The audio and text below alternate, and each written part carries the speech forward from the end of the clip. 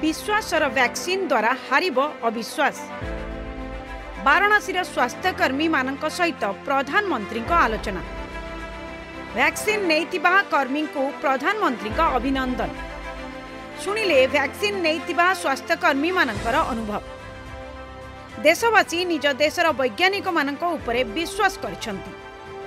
vaccine कु भारत पुरा आत्मनिर्भर देशले सृष्टि हुन्छ नुवा आसाम ପ୍ରଧାନମନ୍ତ୍ରୀ ମୋଦି ଆଜି ବାରଣାସୀ ସ୍ୱାସ୍ଥ୍ୟକର୍ମୀମାନଙ୍କ ସହିତ ଭିଡ଼ିଓ କନଫରେନ୍ସିଂ ଜରିଆରେ ସମ୍ବୋଧନ କରିଛନ୍ତି ଏହି ଅବସରରେ ଭ୍ୟାକ୍ସିନ୍ ନେବା ପରେ ସେମାନଙ୍କର ଅନୁଭବ ପଚାରି ବୁଝିଥିଲେ ପ୍ରଧାନମନ୍ତ୍ରୀ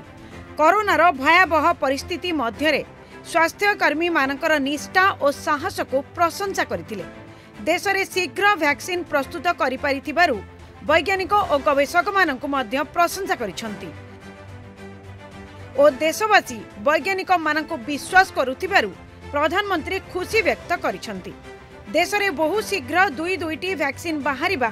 भारत पई पूरा विश्व आगर एक गर्वर विषय भ्याक्सिन र प्रस्तुति सहित देशको मिलि नशा देशले प्रथम पर्यावरण दस लक्ष स्वास्थ्यकर्मीको टीकाकरण करा एही टीकाकरण फलप्रद होई बोली टीकरण फलप्रदारीछोली सम्बोधनले स्वास्थ्यकर्मी म प्रधानमन्त्रीको ज ଏହି ଭ୍ୟାକ୍ସିନ୍କୁ ପ୍ରସ୍ତୁତ କରି ଅଜଣା ଶତ୍ରୁକୁ ଆମ ଦେଶର ବୈଜ୍ଞାନିକମାନେ ହରାଇଛନ୍ତି ବୋଲି କହିଛନ୍ତି ପ୍ରଧାନମନ୍ତ୍ରୀ ବହୁ ଶୀଘ୍ର ପ୍ରାୟ ତିରିଶ କୋଟି ଦେଶବାସୀଙ୍କୁ ଟିକାକରଣ କରାଯିବ ଭ୍ୟାକ୍ସିନ୍ ନେବା ପରେ ସବୁକିଛି ସାମାନ୍ୟ ଅନୁଭବ ହେଉଛି ବୋଲି ଭ୍ୟାକ୍ସିନ୍ ନେଇଥିବା ସ୍ୱାସ୍ଥ୍ୟକର୍ମୀମାନେ ପ୍ରଧାନମନ୍ତ୍ରୀଙ୍କୁ କହିଥିଲେ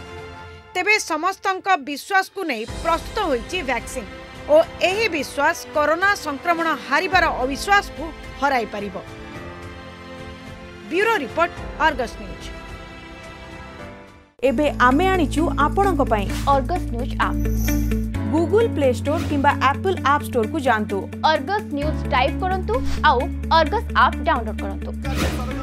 ଲାଇଭ୍ ବୁଲେଟିନ୍ ନ୍ୟୁଜ୍ ଏବଂ ଅନ୍ୟାନ୍ୟ ଶୋ ଦେଖନ୍ତୁ ଆଉ ଆମ ସଙ୍ଗେ ଯୋଡ଼ି ହୁଅନ୍ତୁ ତେବେ ଡେରି କାହିଁକି ଆଜି ହିଁ ଡାଉନଲୋଡ୍ କରନ୍ତୁ ଅର୍ଗସ୍ ନ୍ୟୁଜ୍ ଆପ୍ ସତ୍ୟର ସନ୍ଧାନରେ ଅର୍ଗସ୍ ସବୁବେଳେ ଲୋକଙ୍କ ସାଥିରେ